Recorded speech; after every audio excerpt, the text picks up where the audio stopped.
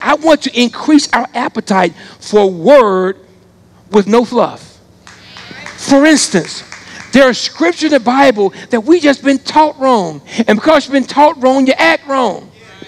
You justify how you are because how you were taught.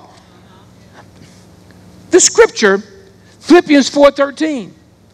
I see it tattooed on people's forehead, on their backs. I see this. I see it.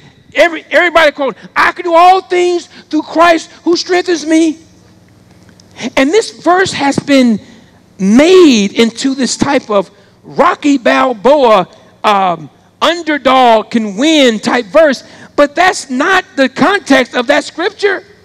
When Paul wrote this verse, when Paul said, I can do all things through Christ who strengthens me, Paul was in a Roman prison.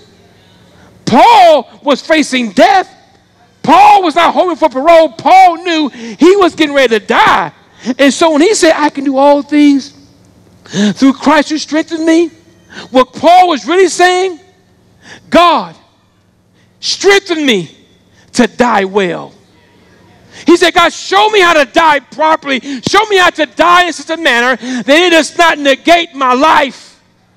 You see, back in this time, Roman Colosseums, when Christians were, were, were martyred, oftentimes they have to fight wild animals.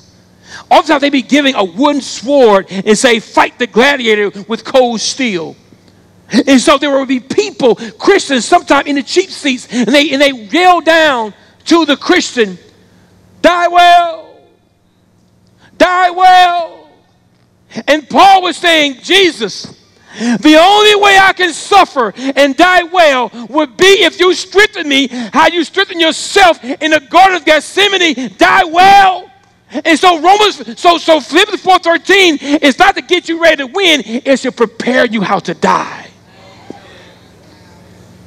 So when you quote that scripture, that scripture is quoted that whether I live, whether I, I live or die, win or lose, and it's likely that I'm getting ready to lose, help me do it well.